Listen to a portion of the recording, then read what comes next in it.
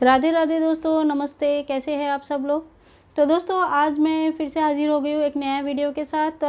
ये उसी वीडियो का कंटिन्यूशन में है, जिसमें मैंने बड़े गोपाल जी और मेरे कान्हा जी के जो है मुकुट कलेक्शन दिखाया था। और एक ही वीडियो में बहुत ज़्यादा बड़ा हो जाता है, इसीलिए मैंने दूसरी वीडियो बनाया। तो आशा करती हूँ ये वीडियो भी आपको अच्छी लगेगी। इसमें मैं अपनी छोटे वाले लड्डू गोपाल, जो चार नंबर जी के, चार नंबर के हैं तो उनके जो मुकुट का, जो पगड़ी कलेक्शन है मेरे पास, वो मैं आपके साथ शेयर करने वाली हूँ। तो चलिए शुरू करते हैं वीडियो। जो उनके जो सबसे पहला जो मुकुट था, ये मुकुट मेरे पास तीन चार साल तो हो ही गया कम से कम। ये देखिए, ये उनका सबसे पहला मुकुट है। मुकुट नहीं है, पगड़ी है। ये सबसे पहला पगड़ी है। और इसके अलावा जो है एक एक करके मैं दिखाते जाती हूँ। ये देखिए, ये ऑरेंज कलर का एक पगड़ी है, जिसमें स्टोन वर्क किया हुआ है, काफ़ी अच्छा सा। और कोई भी ऑरेंज कलर का ड्रेस के साथ बहुत अच्छा लगता है देखने में। तो ये एक कलेक्शन हो गया। और ये एक रेड कलर की मुकुट है। ऐसे तो मेरे पास इस डिज़ाइन में काफ़ी सारे कलर्स है। मैं खाली रेड दिखा देती हूँ। रेड ग्रीन ऑरेंज ऐसा सेम डिज़ाइन में बहुत सारा कलेक्शन है। मैं अभी दिखाती हूँ आपको। तो ये देखिए, ये ऑरेंज कलर का है। और इनके पास तो ऑरेंज जो रेड रेड कलर का जो शेड है ना, उन, उनका तो सारे कलेक्शन तो इनके पास है। ये पिंक कलर का मुकुट है। इसमें भी फ्लावर बनी हुई है, इसमें थोड़ा सा एक पैच कुछ डाल के रखा है तो ये भी सुंदर दिखते हैं। पहनने में तो सारे सुंदर दिखते हैं। ये येलो कलर के है।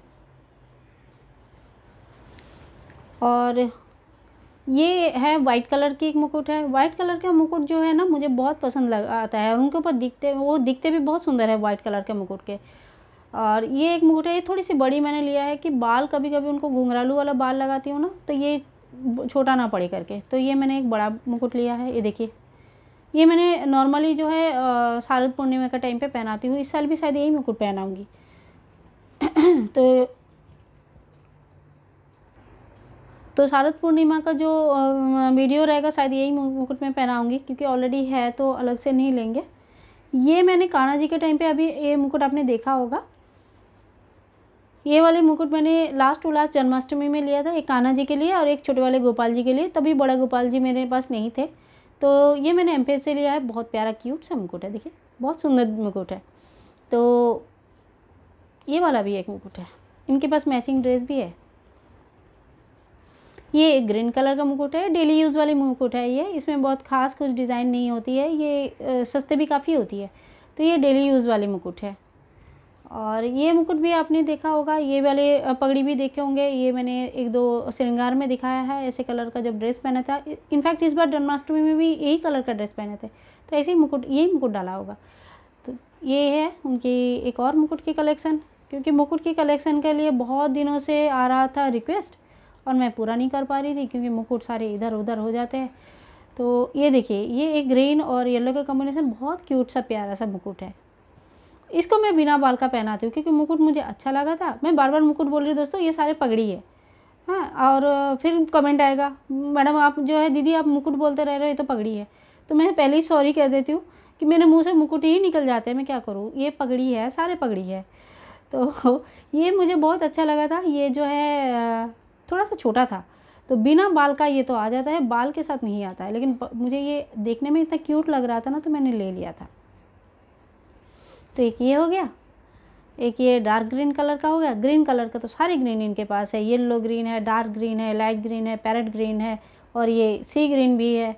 तो ग्रीन के तो सारे कॉम्बिनेशन हो गया अलग रहा। है आपके साथ साथ अभी मैं भी देख ले रही हूँ। मुझे भी इतना याद नहीं था, इतने सारे ग्रीन कलर है इनके पास। ये भी एक मुकुट है। ये देखिए, ये ग्रीन ये येलो कलर का छोटी सी मुकुट है। और ये डेली यूज़ वाला ब्लू कलर का मुकुट है। सेम पगड़ी है। सेम यही जो पगड़ी है, हमारे कान्हा जी के पास भी है। ऐसे ही ब्लू कलर का। और ये वाली भी कान्हा जी के पास है। ये रेड कलर का है। ये पूरा रेड से बना हुआ है। आगे पीछे सब तरह से रेड है। दो कलर का कॉम्बिनेशन नहीं है ये। ये देखिए। यहाँ पे थोड़ा सा ऑरेंज है वैसे। तो ये एक ये एक पगड़ी हो गई। और एक पगड़ी तो उन्होंने अभी पहन के बैठे हैं, जो बिल्कुल ऐसे ही है। रेड कलर की है। मैंने वो वो पहन के बैठ गए। आज तो मैंने नहीं निकाला। तो ये जो है, ये ये purple purple dark purple colour का ही होगा। हाँ पर्पल और पिंक का एक मिक्स है। तो ये एक पगड़ी हो गई और ये मैंने घर में बनाया था रक्षाबंधन के टाइम पे। एक बड़े गोपाल जी के लिए, एक छोटे गोपाल जी के लिए। बड़े वाले तो आपने दूसरे वीडियो में देख लिया होगा। नहीं देखा होगा तो नीचे मैंने डिस्क्रिप्शन बॉक्स में डाल दूँगी। वहाँ पर आप जा, जाके ज़रूर चेक कर लीजिए। तो ये मैंने घर पर बनाया था। ये रखना बहुत ईजी होता है ऐसे, पीछे से फोल्ड हो जाता है। तो ये कपड़े के साथ रह जाएगा, कोई प्रॉब्लम नहीं, ख़राब भी नहीं होती है दबेगा भी नहीं। तो ये एक मुकुट हो गई, पगड़ी पगड़ी। ये एक पगड़ी है, ये भी मैंने घर पे बनाया था, ये बनाया था मैंने इस बार जन्माष्टमी में। और ऐसी सेम पगड़ी मैंने कान्हा जी के लिए भी बनाया और बड़े लड्डू गोपाल जी के लिए, छोटे लड्डू, तीन बनाया था। तो ये छोटे वाले के लिए है। तो ये भी बहुत सुंदर है, देखिए। थोड़ा सा जूम करके दिखाती हूँ मैं। अच्छा लगता है। ये पगड़ी मैंने खुद बनाया ना, मुझे यही पगड़ी सबसे अच्छा लगता है। और ना उनको पहना के भी ना, वो बहुत सुंदर दिखते हैं इस पगड़ी में। आई होप कि आपको भी अच्छा लग रहा है। और एक मेरे पास बाल है उनका, जिसमें मुझे कोई पगड़ी, कोई मुकुट देने की ज़रूरत नहीं पड़ती है। ये लगा दूँ तो वैसे ही डिज़ाइन हो जाता है। जैसे लल्ला को उनकी मम्मी सजाते थे ना, ऐसे बाल के ऊपर, चोटी के ऊपर ऐसे बाँध के, वैसा वाला है ये। बहुत सुंदर लगता है देखने में। तो ये एक है। और एक मैंने बनाया था इनके लिए क्रिसमस टोपी। ये देखिए। ये भी मुझे क्यूट सा लगता है। अब बहुत लोग बोलेंगे, भाई क्रिसमस टोपी क्यों पहनाते हो? नहीं पहनाना चाहिए। तो भाई, ऐसा है कि मैं अपने कान्हा जी को क्रिसमस टोपी पहनाती हूँ, मुझे अच्छा लगता है। क्योंकि ये इस टाइम पे सभी लोग पहनते हैं तो वृंदावन में भी सभी लोग पहनते हैं।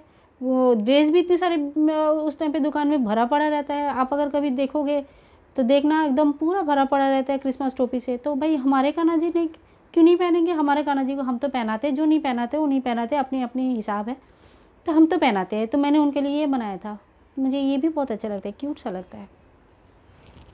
आगे रखते हो दोस्तों। और मैंने तीन पगड़ी लिया है छोटे छोटे जो कि मुझे देना है इस नवरात्रि में।